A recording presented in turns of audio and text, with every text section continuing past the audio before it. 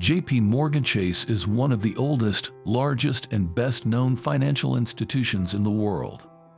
The bank was formed as a result of the merger of a total of about a thousand financial institutions. Its predecessor, the Bank of Manhattan Company, was founded by Aaron Burr in 1799 and was the second oldest bank in the United States after the Bank of New York. In the early years of U.S. history, obtaining a license to open a bank was a complex procedure to circumvent which banks often registered as companies. Founded at the beginning, the Manhattan Company was formerly supposed to supply water to New York to fight the yellow fever epidemic, but it was banking services that were its main activity. This also applies to many other banks that later became part of JP Morgan Chase.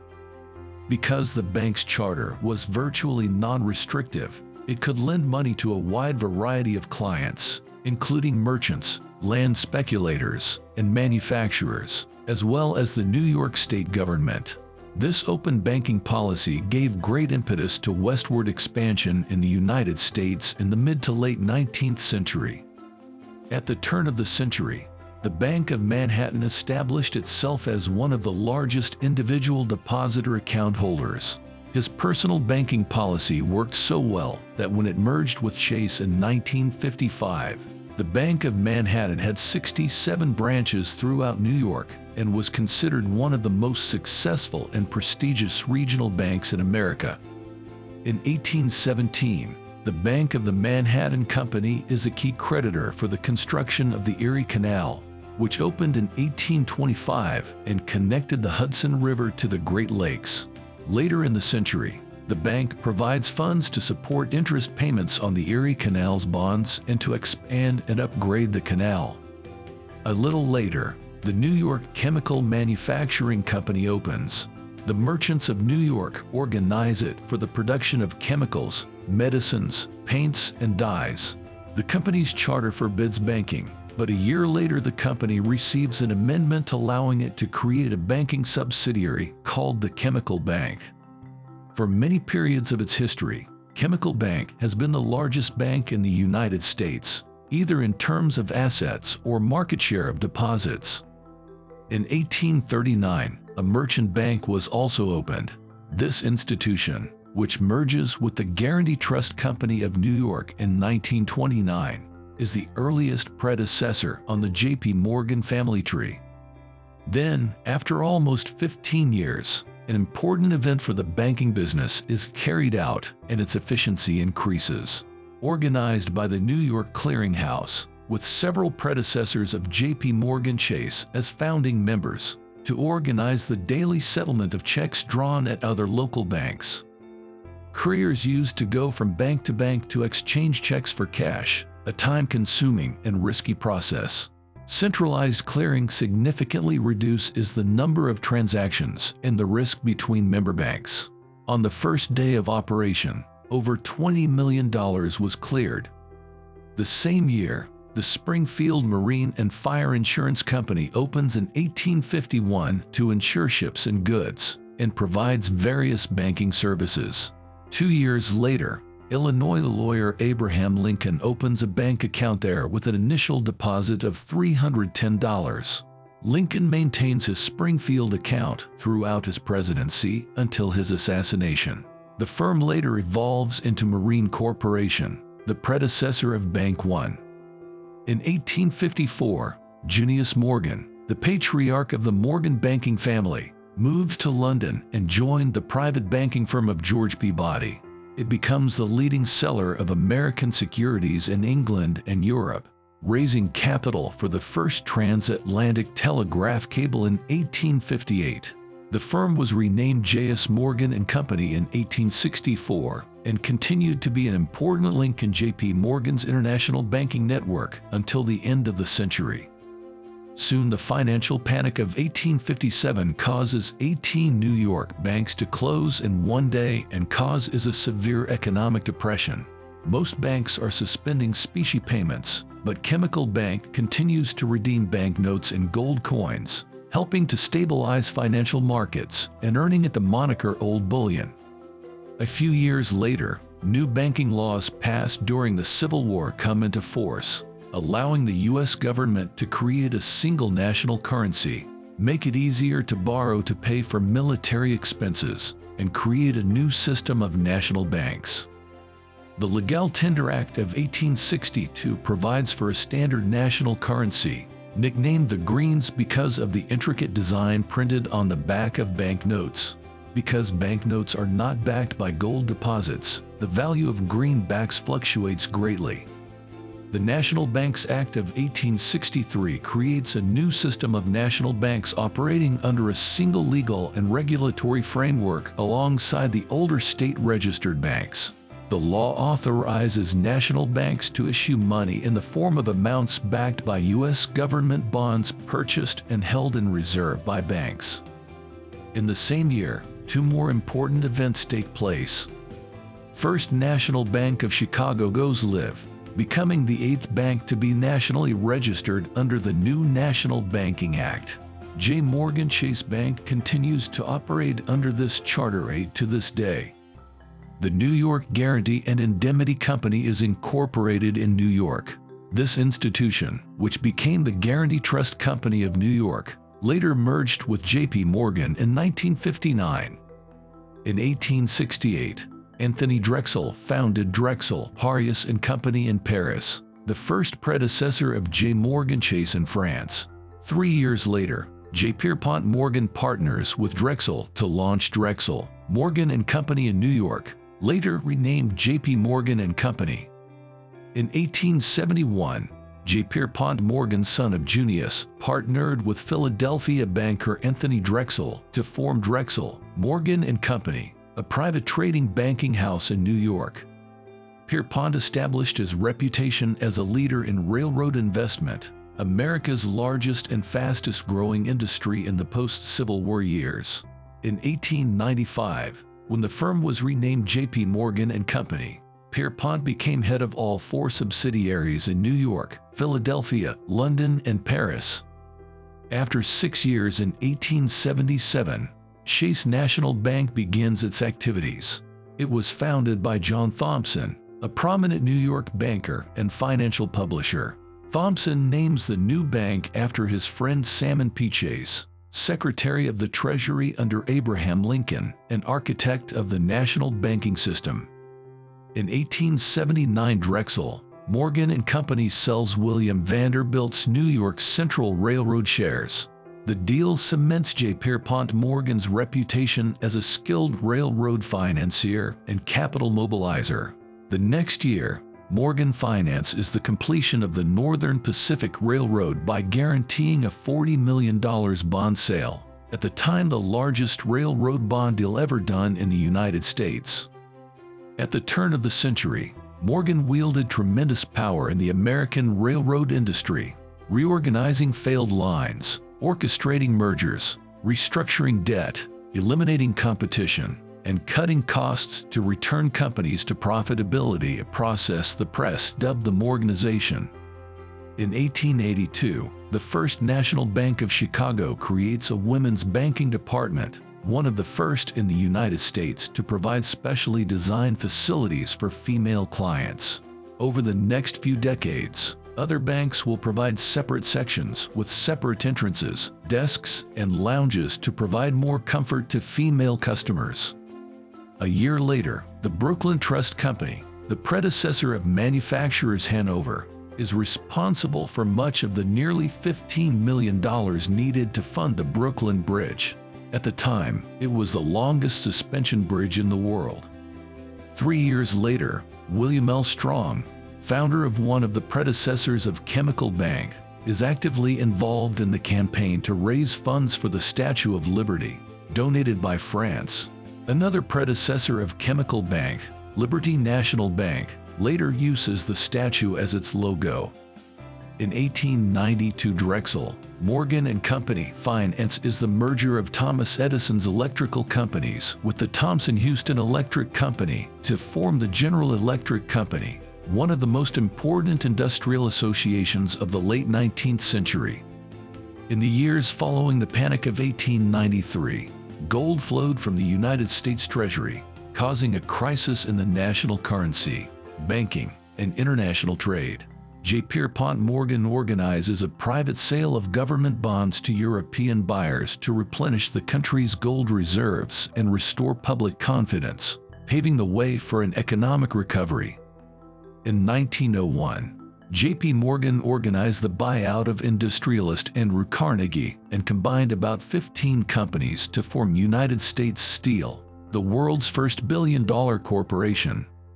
Three years later, J.P. Morgan helps finance the Panama Canal by arranging a $40 million donation to the U.S. government to buy land rights from a failed French attempt to build the canal in 1881. This purchase is the largest real estate transaction in history up to that time. In 1907, J. Pierpont Morgan again takes control during the economic crisis. When the stock market crashes and banks and brokerages fail, Morgan mobilizes big New York banks to provide liquidity to desperate markets, including buying $30 million in New York bonds to avoid the city from defaulting. For two weeks, Morgan holds the group together until public confidence in the banks is restored. The crisis points to the need for a central bank and leads to the creation of the Federal Reserve in 1913. Two years later, a 50-mile canal connecting landlocked Houston, Texas to Galveston Bay is funded by bonds purchased by Texas Commerce's predecessor Union National Bank and other local banks. Built in 1914, the canal is today one of the busiest waterways in the United States. J. Pierpont Morgan dies while traveling in Rome on March 31, 1913. His son, Jack P. Morgan, Jr., becomes senior partner. J.P. Morgan and Company, the New York Stock Exchange closes before noon on the day of his funeral, an honor usually reserved for heads of state. In 1912, Construction begins on the new headquarters of J.P. Morgan Company on the firm's historic site at 23 Wall Street. Built a year after the death of J. Pierpont Morgan, the four-story neoclassical building embodies the firm's understated business style. Morgan's name is deliberately omitted from the front of the building. Only the address 23 is indicated on the front doors. During World War Henry P. Davison, Morgan's partner, traveled to Britain and contracted with the Bank of England to make JP Morgan and Company monopoly war bond insurer for Britain and France. The Bank of England and JP Morgan have become mutual fiscal agents of each other. Morgan organized a syndicate of approximately 2,200 banks and provided a $500 million loan to the Allies. JP Morgan and Company also invested in companies that supplied military equipment to the UK and France, profiting from both the financing and procurement activities of the two European governments. Other JP Morgan predecessor banks are supporting the war effort by providing critical banking services in war-torn Europe.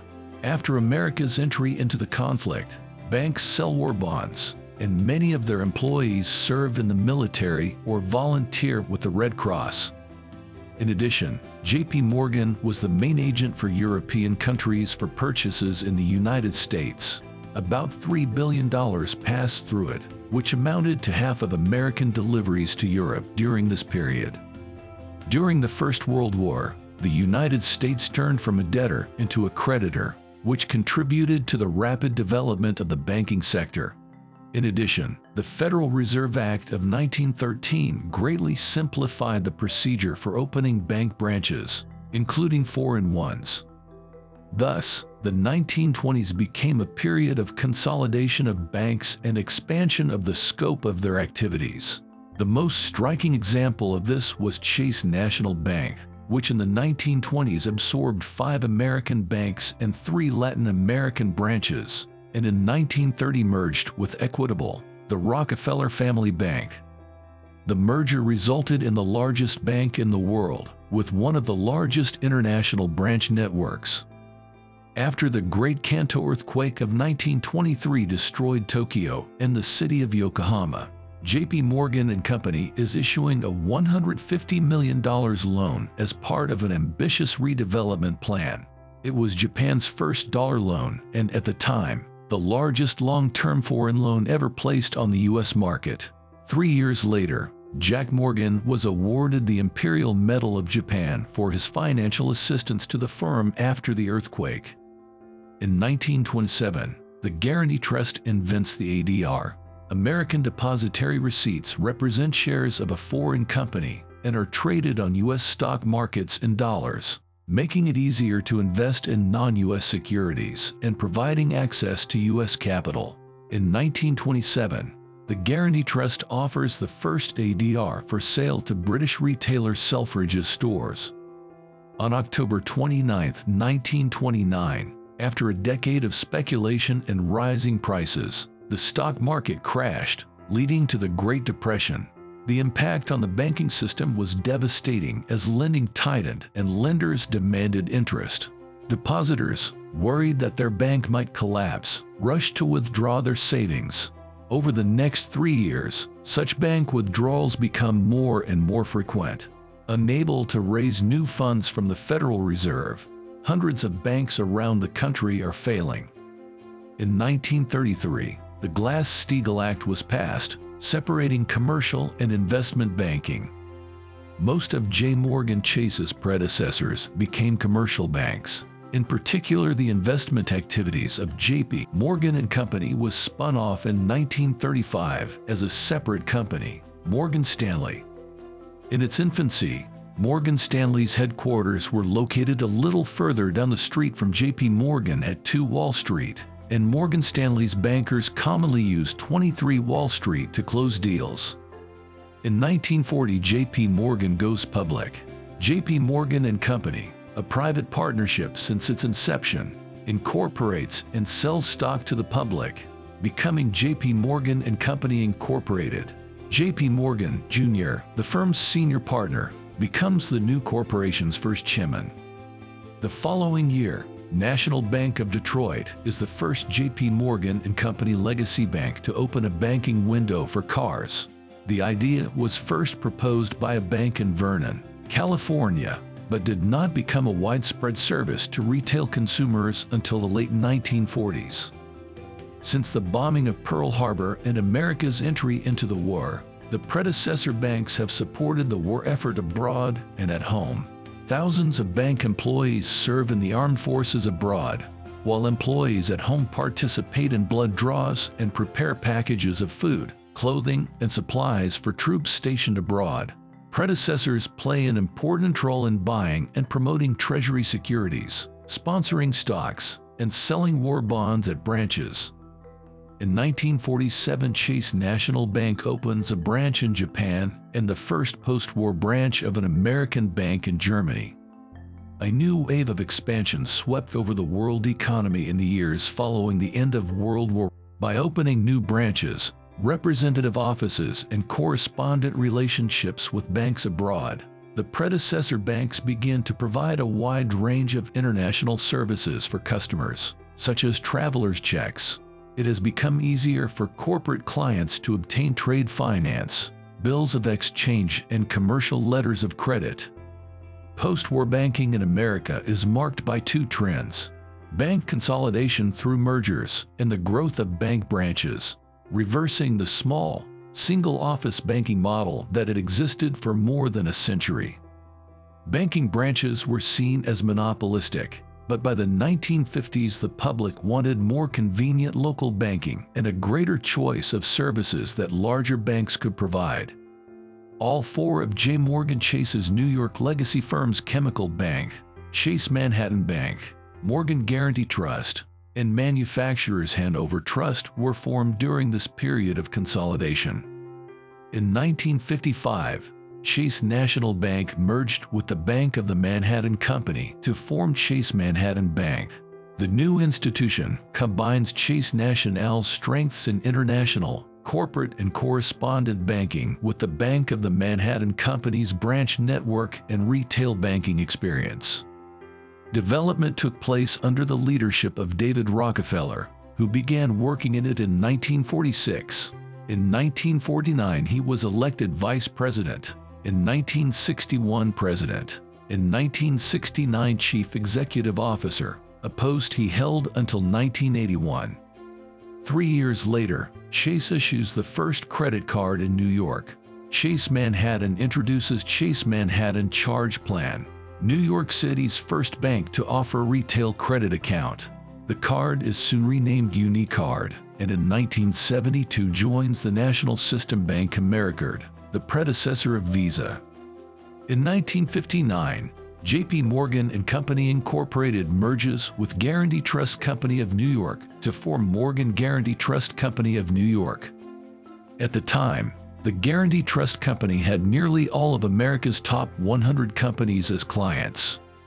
Also two years later, Manufacturers Trust Company and the Hanover Bank merged to form Manufacturers Hanover Trust Company, the third largest banking institution in New York.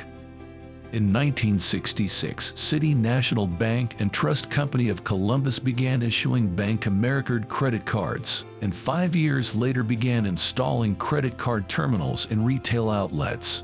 Manufacturers Hanover Trust Company and Chemical Bank founded the Eastern States Bank Card Association in 1969 to launch Master Charge Plan credit cards. Also in 1969, Chemical Bank installed a prototype credit card dispenser, a prototype of the ATM. Subsequently, Master Charge Plan cards became known as MasterCard, and Bank Americard became Visa. At the same time, Morgan Guaranty in Brussels is launching Euroclear, a system that provides orderly settlement of Eurobond transactions, a new form of international collateral. In 1972 ownership is transferred to users, and in 2000 Euroclear Bank is opened to carry out the operational and banking functions formerly performed by Morgan Guaranty. Morgan Guaranty, Chase Manhattan, Manufacturers Hanover, Chemical, and First National Bank of Chicago are being reorganized into holding companies. This provides greater flexibility in raising capital and expanding geographically and functionally. The Wisconsin Maritime Corporation the predecessor of Bank One, is the first bank holding company in the United States, founded in 1958. In 1973, Chase Manhattan opens a representative office in Moscow, becoming the first American bank to have a business office there since the 1920s.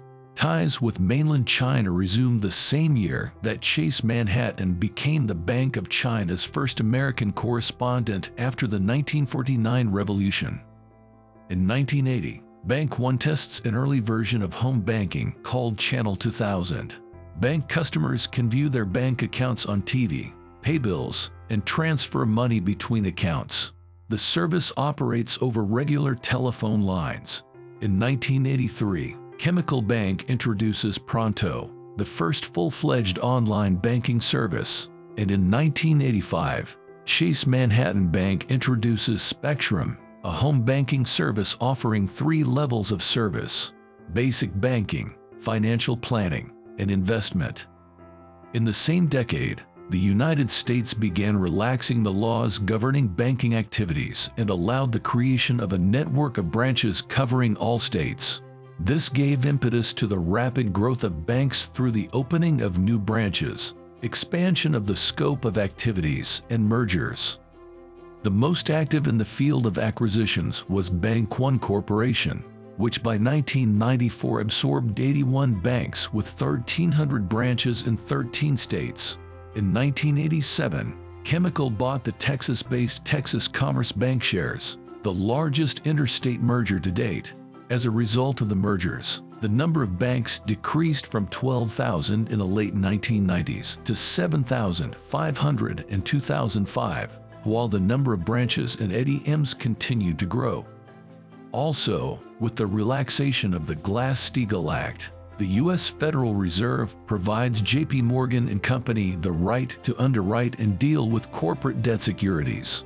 A year later, Morgan gains share underwriting authority becoming the first bank holding company in the U.S. to provide clients with a full range of securities services since the 1930s. In 1991, Chemical Banking Corporation merged with Manufacturers Hanover Corporation in what was reported in the press as a merger of equals. The new firm is called Chemical Banking Corporation and is the second largest banking institution in the U.S. after Citicorp. In 1995, Chemical launches online banking, which allows customers to combine all of their accounts and access them from their home computers. A year later, Chase Manhattan Corporation merged with Chemical Banking Corporation, one of the largest mergers in U.S. banking history. At the time, it was the largest banking holding in the United States. After another five years, JP Morgan and Company Incorporated merges with the Chase Manhattan Corporation. The new firm is called JP Morgan Chase and Company. In 2004, JP Morgan Chase & Co. merged with Bank One Corporation, headquartered in New York, with a retail arm in Chicago. The new firm retains the name J. Morgan Chase & Company. In 2008, JP Morgan Chase suffered billions of dollars in losses during the subprime mortgage crisis, a severe liquidity squeeze in credit markets around the world caused by a sharp devaluation of mortgage-backed securities. In late 2008, the U.S. government invested $25 billion in JP Morgan Chase under the Emergency Economic Stabilization Act, a law designed to prevent the crisis from further damaging the U.S. financial system. Later in May 2012, JP Morgan Chase announced that the bank's investment arm had lost about $2 billion in a complex series of derivatives deals, including credit default swaps, also in 2008, JP Morgan Chase helped stabilize markets by acquiring bankrupt investment from Bear Stearns Companies and Seattle-based savings and loan company Washington Mutual. In 2010, mobile banking capabilities are being introduced to help customers manage their accounts, pay and transfer money.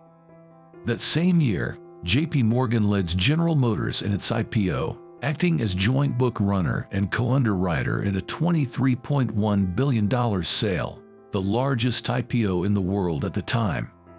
In 2018, JP Morgan Chase announces plans to replace its 270 Park Avenue headquarters building with a new skyscraper. The new world-class office tower will house all downtown New York employees. Today, JP Morgan Chase is the largest investment bank in the world and the largest commercial bank in the United States, and is one of the big four U.S. banks, along with Bank of America, Citigroup, and Wells Fargo. It brings together two of the most respected names in banking, J. Pierpont Morgan and David Rockefeller. The activities of JP Morgan Chase are divided into four main divisions. Consumer and public banking serving individuals and small businesses through a network of branches and ATMs. Includes the provision of mortgage and other loans, servicing credit cards, accepting deposits. Corporate and investment bank serves corporations, investors, financial institutions, governments, and municipalities, with about half of its activities outside the United States. Carries out operations with securities, provides custody services. Commercial banking serving U.S. corporations and financial institutions with an annual turnover ranging from $20 million to $2 billion. Services include lending, treasury services, investment banking, and others. Asset management The bank manages clients' assets through subsidiaries. Stock exchange ticker JPM